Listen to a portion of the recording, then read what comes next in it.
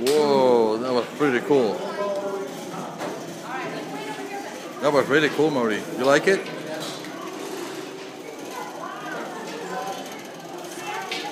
She knows her plane is upside down. What's that? Her plane is upside down. Oh.